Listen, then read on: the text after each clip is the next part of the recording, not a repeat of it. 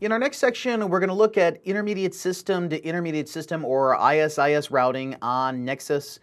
And uh, we've already seen this before behind the scenes in Fabric Path. We'll see that it's going to be used again behind the scenes in overlay transport virtualization and also behind the scenes in application centric infrastructure or ACI. But in those cases, ISIS is going to be very plug and play. Uh, we could potentially use this for the underlying fabric routing or the underlay uh, fabric routing for the cross fabric of VXLAN, either VXLAN Flood and Learn or VXLAN BGP EVPN. But in the vast majority of cases, you would generally see that OSPF is going to be a little bit more popular uh, to run than ISIS in these type of environments, simply because most engineers have more exposure to uh, OSPF configuration over ISIS. But from a behind the scenes point of view, we'll see that OSPF and ISIS are very similar in terms of their mechanisms of uh, what they're trying to accomplish by uh, building the shortest path tree. So as I mentioned, the protocol is called intermediate system to intermediate system, which basically means router to router communication. An intermediate system is a router. Originally, there was uh, two types of systems. There was the end system, which was the ES, and then the intermediate system, the IS, and there were two different protocols. There was ESIS, which was between the host and the router, and then IS to IS, which is the, the router to router protocol. Okay, this is what we're talking about, which is basically the routing protocol, the IGP. Okay, so it is link state similar to OSPF. In most cases, in typical designs, is used in the core of service provider networks. Okay, reason why is that it is a very simple flat network design. You don't need to worry about a lot of the hierarchy uh, that OSPF imposes and it also supports both IPv4 and IPv6 routing within the same protocol stack. So in the case of OSPF, it's two separate protocols. You have OSPF version 2 and OSPF version 3. And IS to IS, IPv4 and IPv6 routings are extensions to the core protocol. Okay, same reason as why Fabric Path was using ISIS because they just wrote another custom extension in order to advertise those type length values. Same as with overlay transport virtualization. Yeah, you can think of it kind of like how BGP works, where you have your underlying transport that's based on TCP, and then you have your application data, which would be like your IP route, your IPv6 route, your EVPN route, but they're using the same underlying transport. Same is true with ISIS, that the underlying transport is the connectionless network stack, or CLNS, but the application data inside of the protocol is going to be your IPv4 routes, your IPv6 route, your fabric path switch ID, your OTV MAC address, and then CLNS is going to be actually building the shortest path tree. Now, since it's not an IP protocol, it comes from the original ISO CLNS stack. It means that the addressing format is different than regular IP. Okay, it uses what's called an ISO NSAP or a network entity title address, which is a variably length address that is from 8 bytes to 20 bytes. Okay, it's going to look like this, where the A's are the area ID, the S is the system ID, and then the N is the N selector. Okay, in most cases, you'll see that this address is going to have the format of 49.000 something, okay, followed by some value, whatever, 1111, 1111, 111100. The reason why is that anything that starts with 49.xxxx, this is private addressing, from the original ISO NSAP uh, standard. So you can think of it kind of like RFC 1918. It's like the 10 network, 172.16 to 31, 192.168. Okay, but technically in, in our case, it doesn't really even really matter what the net address is because it's not being publicly routed uh, over the internet. It's always going to be some locally significant value within the, uh, the IGP domain. Okay, what the net address, what the net address is going to control though is what we call the level of adjacency. Okay, where OSPF uses areas for its hierarchy, like area zero is the backbone, the non-area zero is the, is the non-transit area. ISIS calls these levels.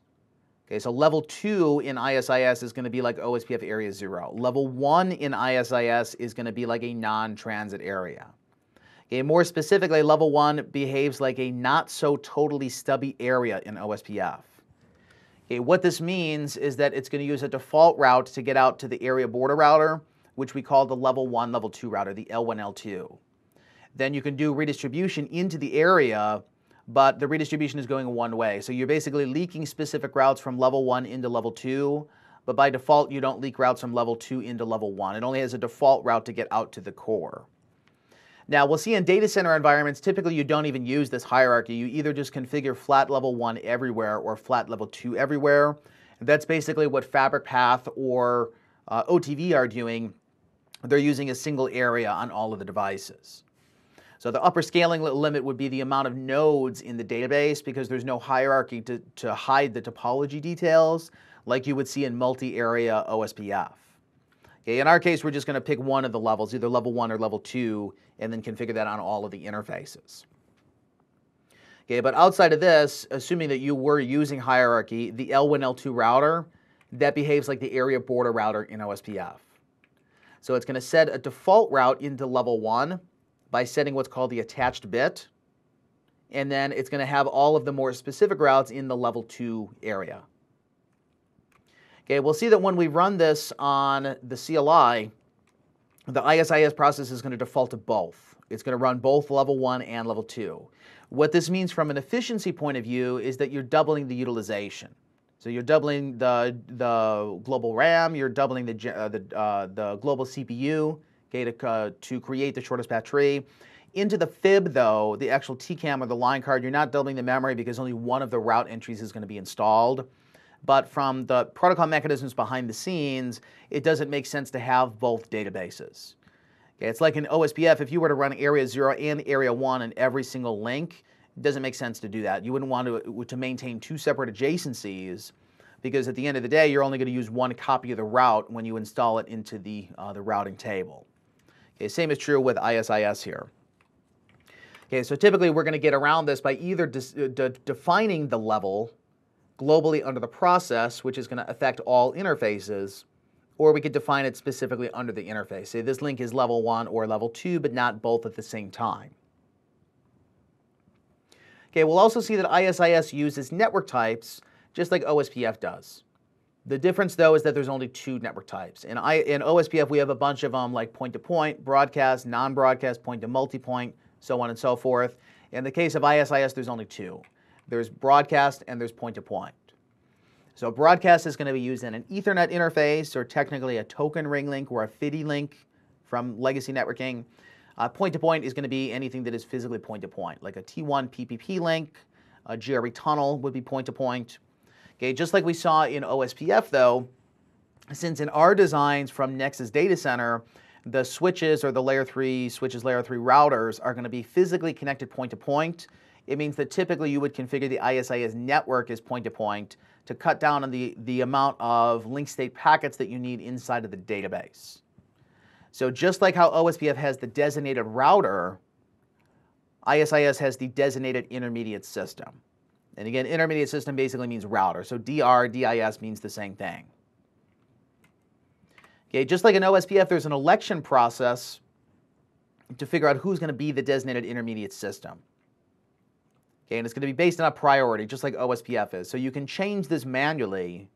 If not, it's going to use the highest MAC address, which is called the subnetwork point of attachment.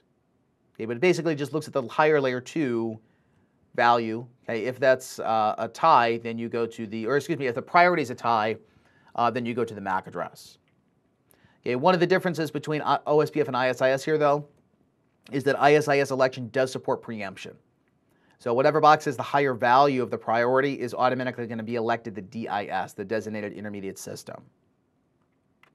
Okay, when we go to form ISIS adjacency, just like OSPF, there's some additional prerequisites we need to think about.